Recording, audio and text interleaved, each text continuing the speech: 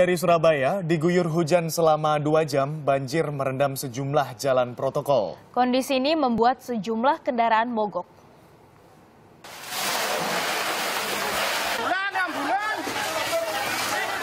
Petugas pemadam kebakaran dibantu warga berjuang memadamkan amukan api yang melalap 6 unit ruko di kawasan Banjarhiang, Batu Kangin, Denpasar. Setidaknya lima unit mobil pemadam kebakaran dari Badan Penanggulangan Bencana Daerah diterjunkan untuk menjinakkan api. Tak hanya melalap bangunan, kebakaran juga mengakibatkan sejumlah kendaraan dan kios pedagang hangus. Petugas belum bisa memastikan penyebab kebakaran.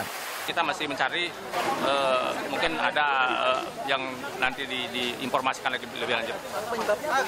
Ah, belum belum kita dapatkan, belum dapat. Jadi masih kita mencari Pak Keliang yang bisa memberikan informasinya.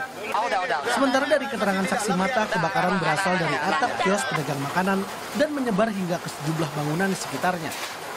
dari atas dari atas Hah? di tempat saya tahu-tahu Iya, karena dibilang dua orang. Kita tadi ngomong tadi. Hah? enggak enggak, enggak dari dapur gini enggak Di tengah upaya pemadaman api, sejumlah warga berusaha mengamankan harta benda berharga mereka. Belum diketahui adanya korban jiwa dalam kebakaran ini. Namun kerugian diperkirakan mencapai ratusan juta rupiah. Selamat Kurniawan melaporkan untuk NET. Jadi tayangan barusan tuh Indah, ini adalah dari Denpasar, yaitu ruko yang eh, ludes dilalap api. Iya. Kita beralih ke informasi lain selanjutnya. Ya, tak kuat